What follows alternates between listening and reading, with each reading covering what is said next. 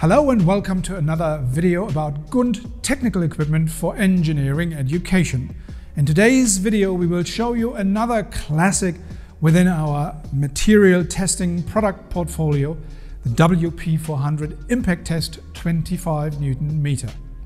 By the way, we also offer a larger impact tester, the WP410 300 Newton meter. In the field of industrial quality control, the impact test is a widely used test method to quickly and easily determine the specific characteristics of a given material. The GUNT WP400 is a solid pendulum impact tester designed to perform the so-called Charpy notched bar impact test. The clean layout and its simple operation make it perfectly suitable for your teaching environment. In the experiment, the solid pendulum describes an arc at the bottom of which the hammer transfers part of its kinetic energy to the specimen, which is either destroyed or deformed and pushed through the uh, support. The notch bar impact work required to deform the specimen is directly read off the large scale with its trailing pointer and also the data can be transferred to your PC via the optional GUNT data acquisition software.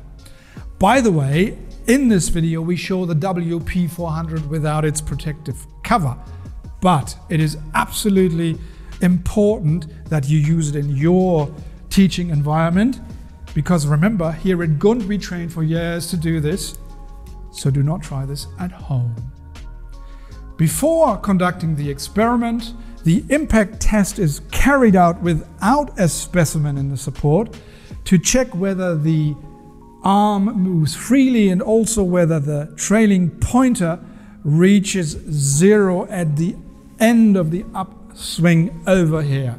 Now we conduct an impact test with an actual specimen in the support.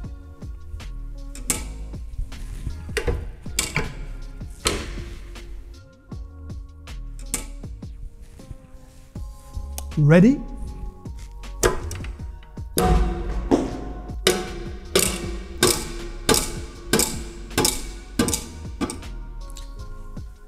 The experimental results allow quality control and analysis of the fracture behavior of different materials.